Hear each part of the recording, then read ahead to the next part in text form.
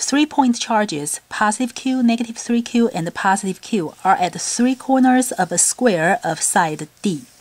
Determine the magnitude and direction of the net electric field at point P, the fourth corner.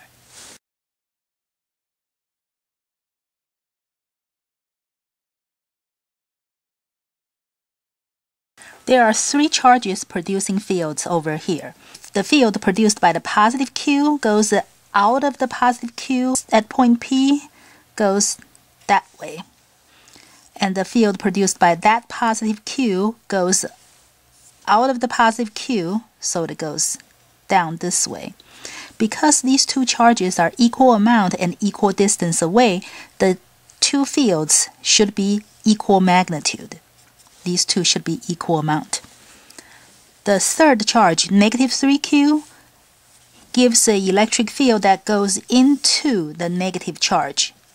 So this goes that way. It may not be obvious to you whether this electric field has a larger or smaller magnitude compared to those two electric fields because uh, this charge has a larger magnitude, 3q, but it is also farther away. To find the net electric field, we have to add those three fields together by adding vectors. In this particular problem, we happen to have symmetry along this diagonal. It is symmetric on the two sides. So we know that the net field must be along this direction. So it can be convenient for us to add two of the vectors first and then add the third one. Which two should we add first?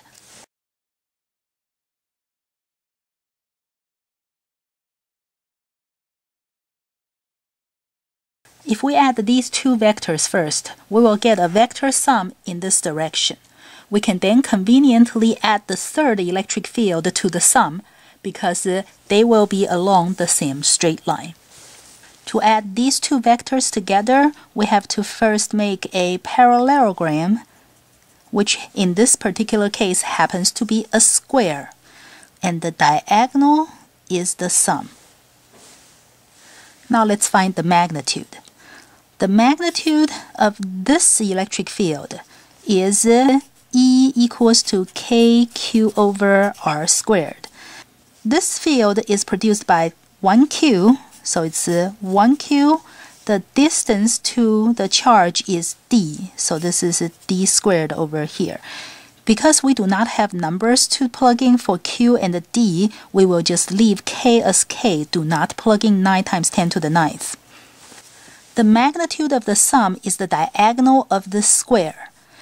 For a square, we know that if the side of the square is 1, then the diagonal of the square would be square root of 2. So to find the diagonal, all we have to do is to multiply that by square root of 2.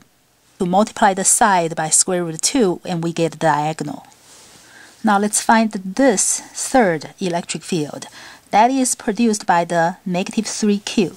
So this field is k, the charge is 3q, I'm not going to plug in the sign, divided by the distance squared. Now this is also a square.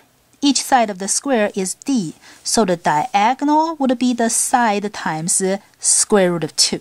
So the distance over here is square root of 2 times d and that means uh, we get the 3 halves k q over d squared.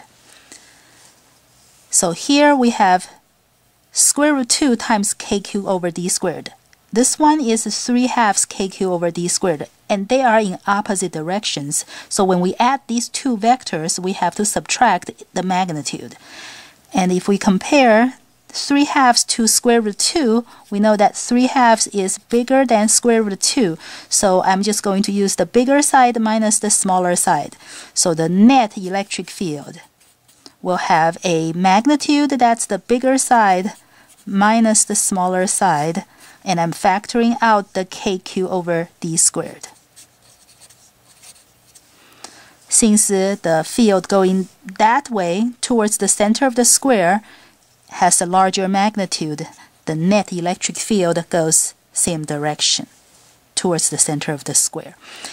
And uh, if you wish to, you can simplify this to 0.086 times kq over d squared. Although that is not necessary, it's perfectly fine for you to leave your answer in this format.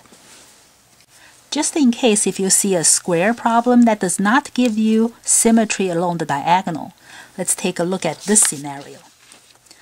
In this case, the square still has uh, each side d, and the three charges are negative 3q, positive q, positive q. They just arranged differently, and you're looking for the electric field over here.